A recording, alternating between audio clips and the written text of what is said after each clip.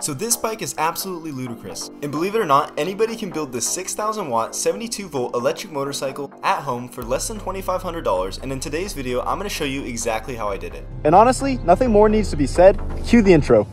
Oh god, it's coming. Where's it coming from? Oh gosh. Oh, there it comes!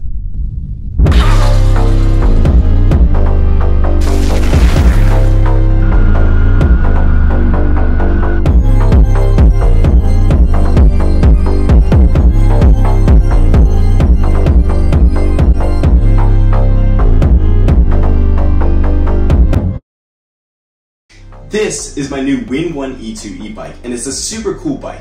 But if I had one complaint about it, right out of the box, it just doesn't really come with very much power. Meaning that although it has this off-road style frame, you can't really use it for much off-roading. This is a 72 volt 3000 watt motor, which when I pair this with a 72 volt 80 amp controller and a 72 volt battery, I can give this bike a power of 6000 watts. But before we get into it, if you haven't already, make sure to go ahead, hit that like button, Leave a nice comment down below, and most importantly, subscribe. I'm trying to reach my goal of 1 million subscribers, and guys, we are so close. So make sure to go ahead, hit that subscribe button, and let's get right into it. So the very first step of this build process was replacing our rear wheel with our 72 volt 3000 watt motor. I did this by first unplugging our boring stock rear motor and then taking off the rear wheel and after simply unscrewing the nuts which held in our original motor, we were ready to upgrade. This was actually super easy for me because the diameter of the slots for the rear axle to go in matched up perfectly with the motor that I already had, so it just slid in like this. The only issue we had with this was that there was a lot of space left in between the axle and the motor, so we had to fill this up with about an inch of spacers. Alright, again, so hardly perfect, but as you can see, I got a whole bunch of spacers down from, I think it was Miners Hardware, and uh, these should work alright for this. Again, I don't know how well this is gonna hold up as a permanent solution, uh, but we're certainly gonna give it a try. After putting on our new and improved rear wheel, I decided to take off the seat to expose our controller housing. Alright, so we cracked open that seat, and you can just see how small this controller is relative to the space that they give you to put a controller in, which is why I have this. I'm just gonna replace that thing. So we're gonna first take this thing out, then we're gonna replace it with this bad boy. Removing this controller was easy as all we really had to do was unplug it. Boom, got that bad boy out. While trying to fit in our new controller, I realized that there were some bolts that were getting in the way, so we had to cut those out. That thing is gone. The new controller fit in there so snug that I didn't really need to do any serious mounting, so I just used some duct tape to keep it down. Look at the sheer size difference between this new controller I've put in and the old controller. This is what's gonna make this bike so crazy. After mounting our new controller to our bike with a little bit of duct tape and a little bit of love, I decided to route our motor cable up through the frame in the most efficient way I could find. Once I had it thoroughly mounted with some zip ties, I decided to hook our motor wires up to the controller using this little yellow wire board. Getting this done is super easy and all you're really doing is hooking up the yellow, blue, and green wires coming out of the motor to the yellow, green, and blue wires coming out of the controller. Oh yeah. We got that thing looking like that right now. And uh, yeah, after getting bored of that, I decided to put my battery in.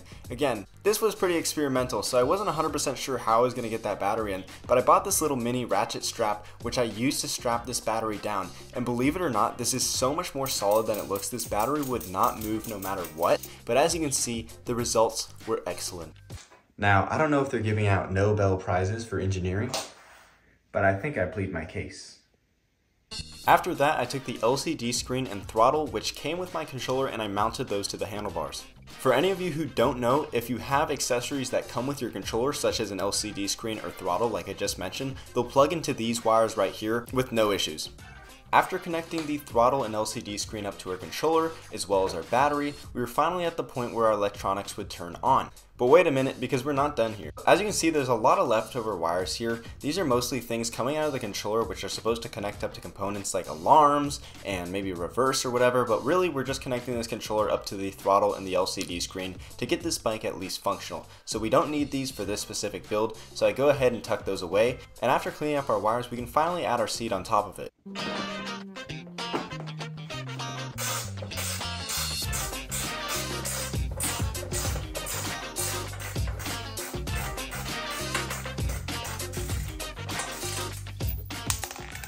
I can't believe I almost forgot to mount our rear brake because I'm not going to get on this bike until we have some sufficient stopping power. I had to use a bunch of spacers in order to do this because the rotor was so far away from the actual point in the frame where we mount the brake, but it ended up being pretty solid in the end.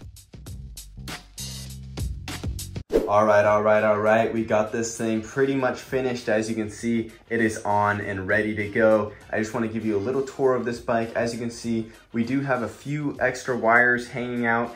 Um, this is because I'm not sure if this is going to be a permanent solution for how I want this bike to be. I may want to return it back to its original condition, so that's why I still have the um, original wires hanging out of this bike just in case I want to remove these electronics, use them for something else, and then just um, have this as like an everyday bike. But for now, this thing is looking badass. And I'm so excited to get on this thing and ride it around. Now this bike isn't perfect, right? It's a little bit goofy because that rear wheel I think is a slightly larger diameter than the front, which is just not usually something that you want on a dirt bike style bike. Um, you always want the rear wheel to be both thicker and smaller than the front wheel. And as you can see, it is both bigger and thinner than the front wheel, which is gonna be interesting. And I think enough has been said. Let's go outside and see what this bike can do. All right, so we got this bike out in some sunlight. We're looking good. And I'm just about ready to get on this thing and absolutely shred the living caca out of this bike.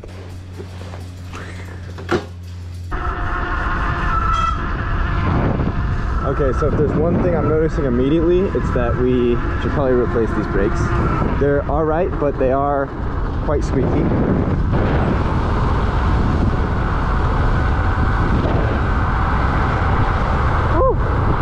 This thing hauls ass. Oh my god.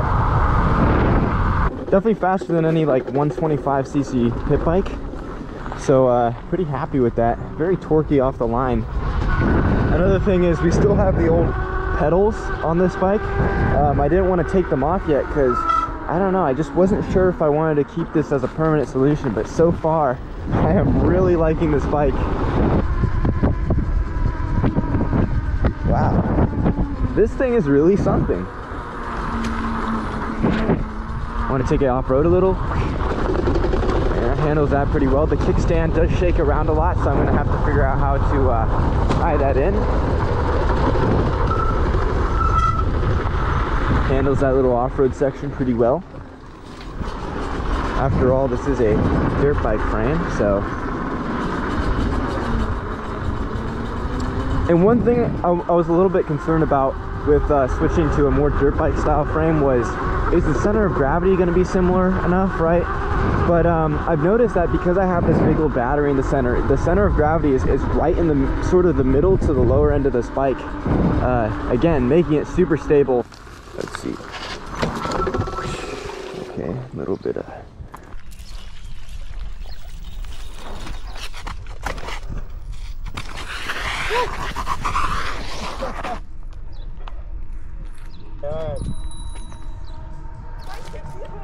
Gonna have to lean forward a little bit more. Oh man, I mean, this really turned out a lot better than I thought it would. Like, this thing is blowing my mind um, because I threw this thing together in one day. You know what I'm saying? Like, from from stock, like normal e-bike that I guess has like a dirt bike frame to this thing, only took me one day.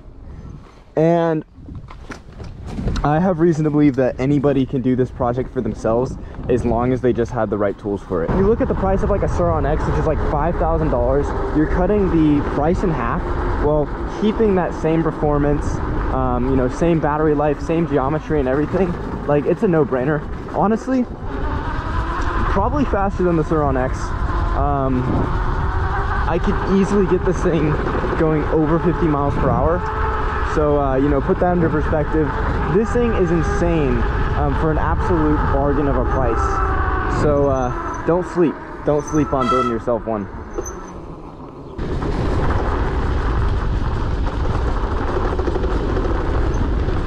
anyways guys i think that's going to be a wrap for this video. If you have any suggestions for what i should do with this bike please leave those in the comments down below as that will help me for making future videos. And guys if you haven't already hit that subscribe button. I have so many more awesome projects planned for the future of this channel and you hitting that subscribe button it might be a small little action but it helps me out a lot. Growing on youtube is really difficult so just please hit that subscribe button and i will promise to return with some more awesome videos like this. And I'll see you guys soon in the next one. Later.